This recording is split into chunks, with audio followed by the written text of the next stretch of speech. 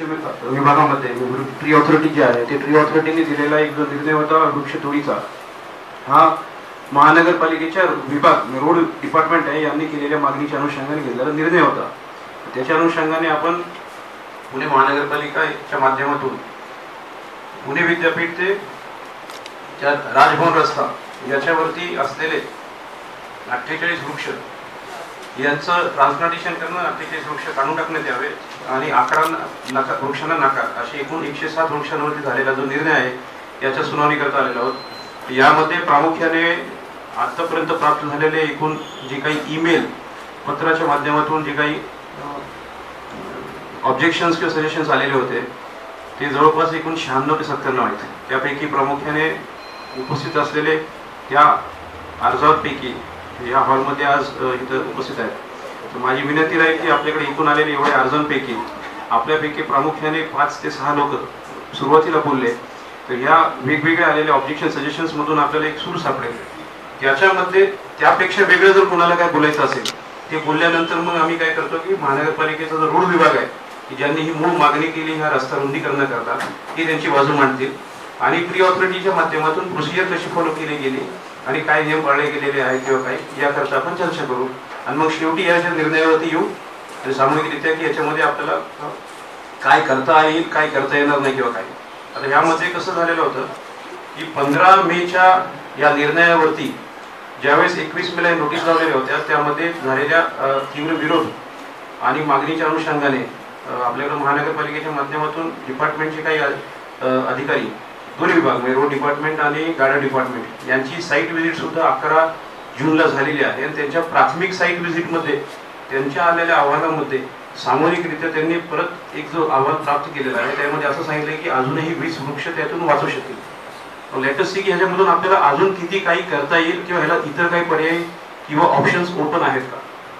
तर याच्या अनुषंगाने मी विनंती करतो की आपल्यापैकी प्रथमतः एक पाच ते सहा मंडळींनी बोलल्यानंतर त्यापेक्षा वेगळं जर कोणाला काय बोलायचं असेल तर त्यांनी बोलायची संधी मिळेल.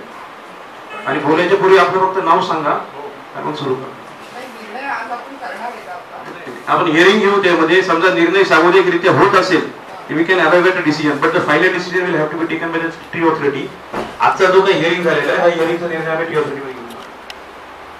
आज ऑथॉरिटीचे मेंबर्स पण आपल्यावर इथं आहेत. खात्याची शिफारस म्हणजे काय? खात्याची शिफारस जे लिहिलं आहे ते मायक्रोफोन घ्या.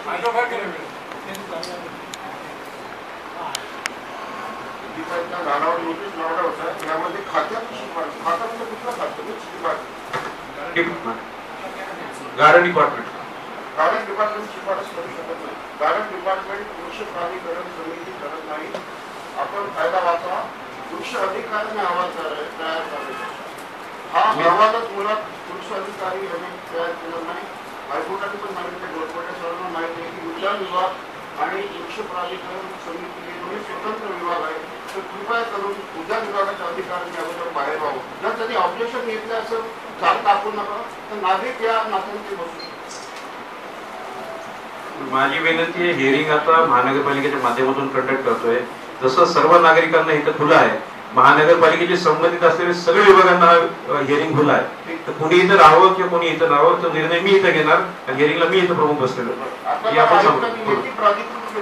आज आपण आयुक्तांच्या अनुपस्थित आला आहे. त्याच्याशिवाय मी बसू शकत नाही.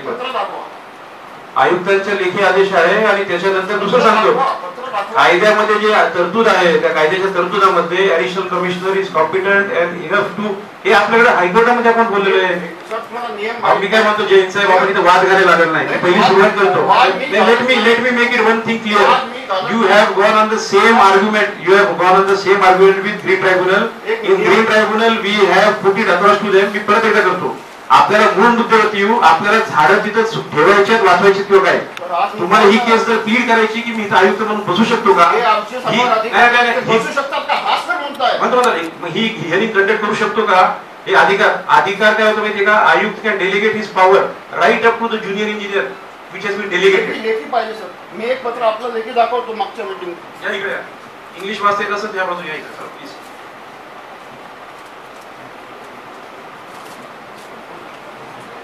या इकडे. नाही इकडे प्लीज प्लीज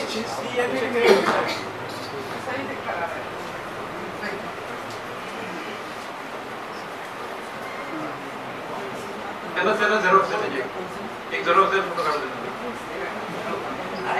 आपण पुस्तकाला